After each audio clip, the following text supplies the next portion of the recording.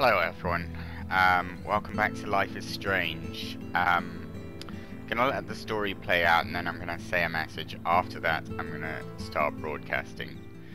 But this one's just gonna be recorded first. Once upon a time, in a wild, wild world, there were two wolf brothers living in their home lair with their papa wolf. They lived in peace until hunters took their dad away.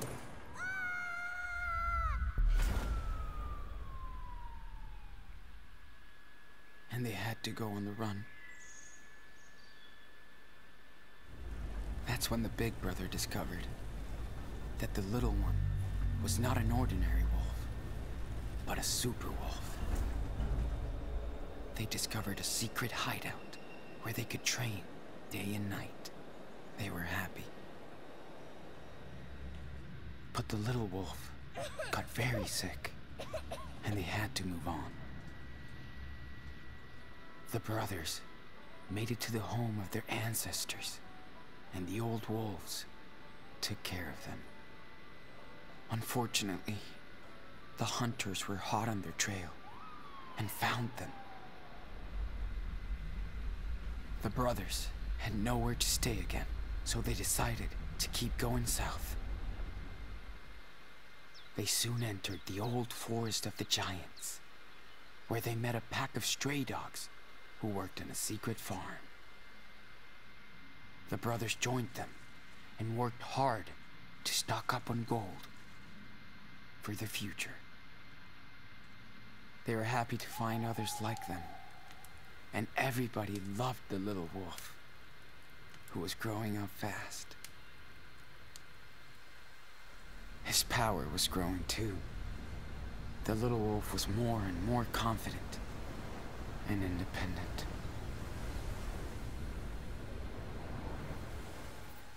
The big brother hooked up with a cool she-dog. they had their own adventures. Suddenly, the mean farmers who owned the land tried to hurt the brothers. The little cub was injured. He transformed into a super wolf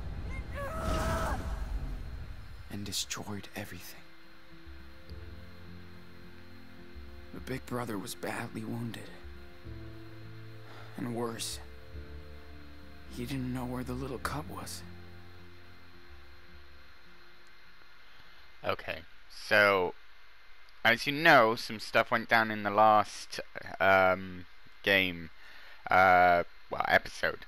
I chose not to be friendly with the boss, which is um, something I try to keep it professional and not delve in there. And looking back, there was a lot of wrong choices again. But the difference is now, well, so two weeks ago I went on holiday and I was away with my nephews uh, and uh, yeah I had to look after them. They're, they're very little. Uh, they're just kids. They're just babies basically toddlers. And I had to look after them. But the one um, is very much monkey see, monkey do, and I had to watch my language and how I was around them. Hey, Sean. And. I'm sorry. Everything, really. I didn't mean to. It was a bad idea. Mm. Daniel. No way. It's all good. So, yeah. So now I Wish think. I listened when you tried to stop me from going with Finn. I've learnt more. I was too pissed. It's okay, dude. But not about You're my teenagers. And that's all that so. counts. So, why don't you come and get me? He's not with us at the moment, is he? I'm alone, Sean. Mm -hmm. I don't know what to do was gonna say, how did I'm we scared. get back here? Don't get so close to that edge. Please, come and get me. Yes, I, I swear. Uh, stop! And here we are, in the hospital bed. So, the other thing I wanted to go over today was, um, before we start the video proper and before I do my broadcast, um, there was a, a, riot, well, a protest, I should say, not a riot. It was a protest in London uh, today about, well, uh, the video link says 13 hours ago, which the time frame doesn't really match up that well, but basically they were protesting saying, you know, uh, let's not go, um, let's have our, let's be free basically, let's get out of COVID, it doesn't exist, or uh, we want to be free, um, we don't want to turn into totalitarian state, um, and a lot of people might find that distasteful. I find that distasteful because we're all in the same boat. There's a lot of us who like lockdown to save others, and a lot of us did it to protect the elderly and protect our relatives, our older relatives. My uh, nan went down with COVID. She made a full recovery. She was so praising of the uh, NHS. No, nothing ever gets her down. But um, my other nan is a little bit older and a bit more vulnerable, and maybe a little more, I don't know, naive about these things because she doesn't have access to the internet and she doesn't really, apart from TV, she can see what's going on, but she's very old and we wanted to keep her protected. And for that reason, I didn't go and see her. So when I see, um, sometimes I, because I work in a shop, as you know, I have to deal with people who are, um, uh, just non-maskers. Uh, CDs, we call them COVID deniers. Uh, when we see a CD, my usual response is not to engage. Just be polite and get them out the shop as quickly as possible because I don't want anyone else to be infected or affected or uh, get angry or start something because they're basically looking for attention. Um, any sort of attention, and they were denied it probably in their lives and they just want attention, any kind, even if it's negative. They want that fuel to their fire. They want to fight. They want to have an argument. Uh, that's all I seem to see is people wanting to have arguments. I was serving someone and they were ramming their trolley into this little old lady in front. I said, "Can you just back off, please?" And he said, "Why is that a COVID thing?" I said, "No, it's a politeness thing. You you're hitting her in the back of the legs. She's going to fall over. She's a very old, frail woman. And you could see the disappointment on that guy's face. So disappointed that I didn't say COVID. Because he wanted me to say it. Because he wanted to engage. And that's all they want is attention of any kind. And they'll go to great lengths to achieve it sometimes. Um, but today I actually did engage in the comments in a YouTube video. Um, I said it was very ironic, the protest, and immediately about five or six people were like disliking the comments and like slamming me. And uh, this one guy in particular, um, some of the comments were in instantly deleted, I believe, but uh, one guy in particular said that uh, this country is trying to turn itself into a totalitarian state. They're trying to uh, martialize us. They're trying to keep us indoors. And I, I couldn't help but feel very angry because I'm drawing parallels to places like North Korea and um, Hong Kong is a great example of that, where um, rioters were just holding umbrellas and they were attacked by police just a year ago. They were attacked by police, and he was like, "Oh, oh no, mate, that that's what we're trying to avoid. We're trying to avoid that." And I'm like, the irony is simple in my mind. By protesting, we might not like the fact that you protest. We might find it distasteful, but you are allowed to protest. You are allowed to stand at the gates and protest you're they were throwing tennis balls um, at Downing Street, and they were allowed to do that. The police were allowing them to do that. If it turned violent, then I'm sure the police, riot police, would have gone in. But it didn't turn violent. They were throwing things at the police, just tennis balls and softballs. There was nothing of like sharp objects. If it had gone on to like a full blown riot, I think then the police would have responded. But it was a peaceful protest. There wasn't anything too untowards about it.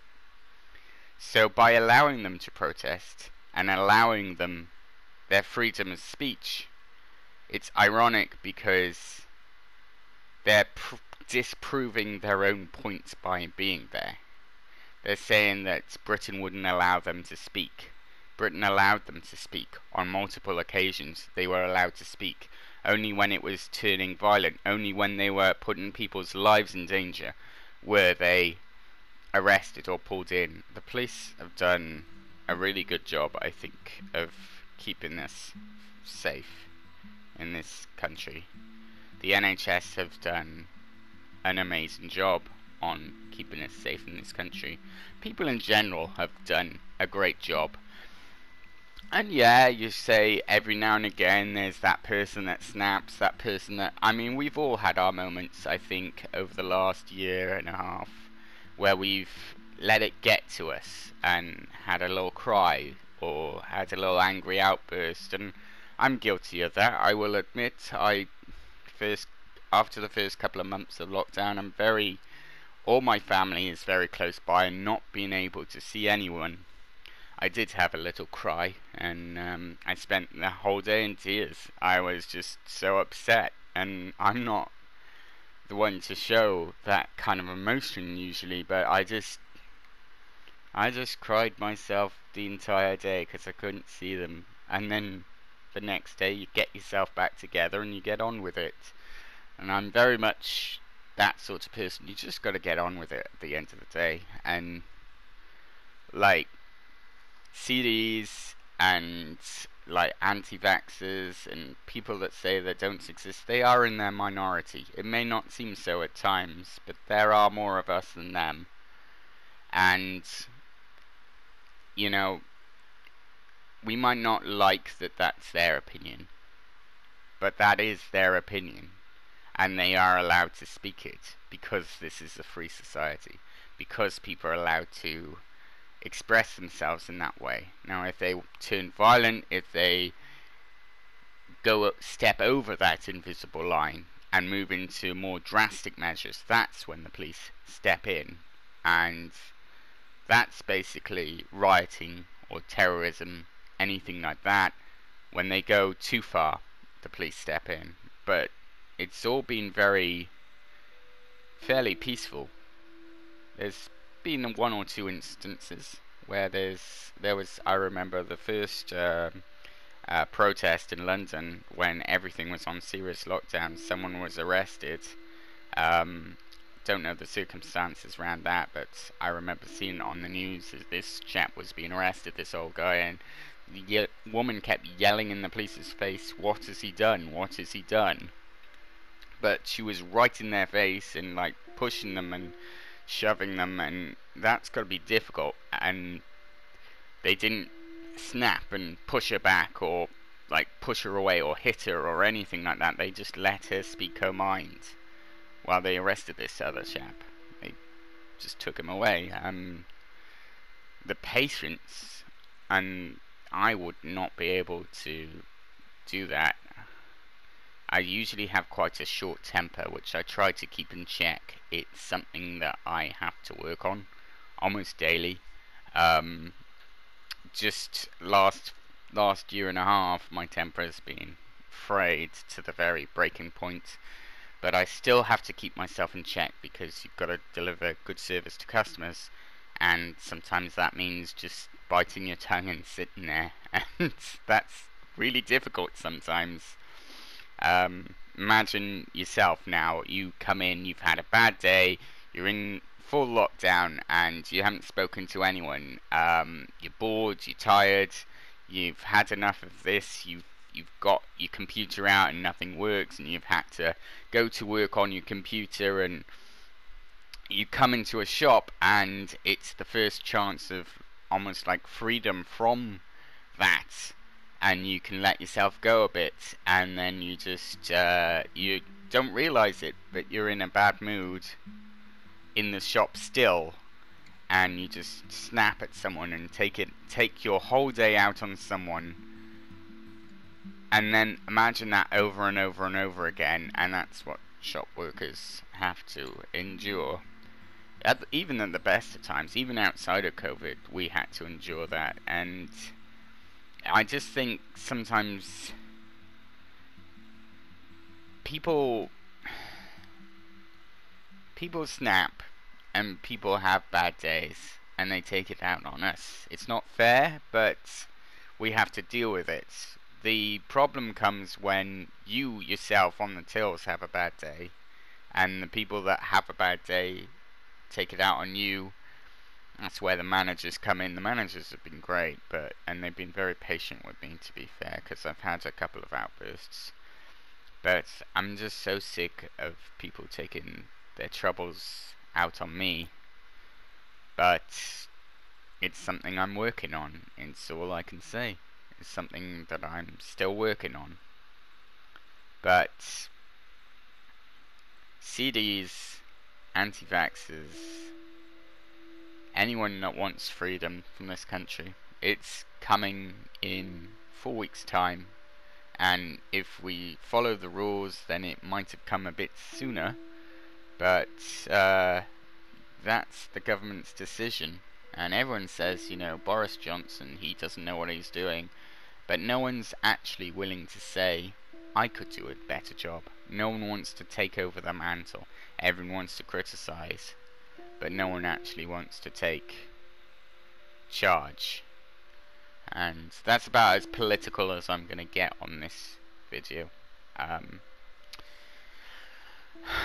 I just I just find myself sometimes thinking that I'm probably right in my first idea, which is if you are approached by something that you find distasteful, like CDs and anti vaxxers and that sort of thing, sometimes it's best not to say anything. You know you're right and you know that the state backs you and you know the country backs you on that decision. And these people are looking for a fight so much and they've been around for a while and they'll be around after this um, a lot of the information I'm guessing they get from the internet which doesn't always speak the truth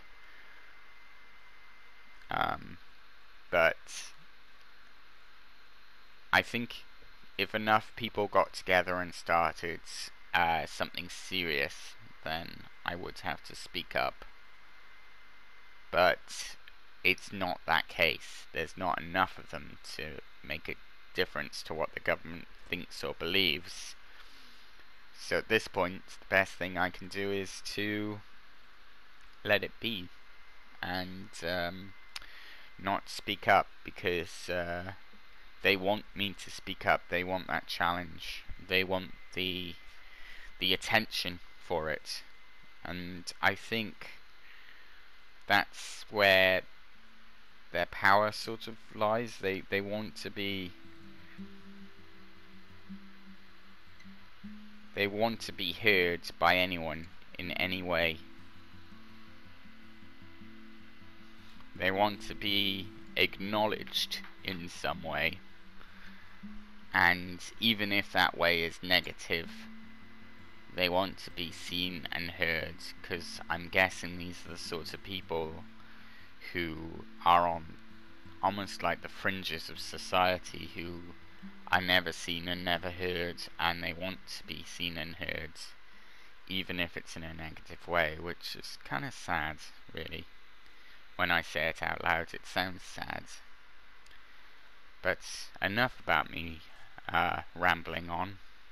You can uh, decide what you want to take from that, and please uh, leave a comment down below. Um, I'd love to hear other people's views on this. Um, uh, I'm not going to argue with anyone. I'm not going to argue with anyone. I'm just going to let your comment be, unless it's rude or hateful. I will let your comment be and sit in the comments. And yeah, just let me know how you feel about this. And um, maybe we can find a common ground. Alright, I'm going to make dinner and then I'm going to start my broadcast. So it should start as soon as this one comes out because it's going to take a little while to upload. Take care everyone.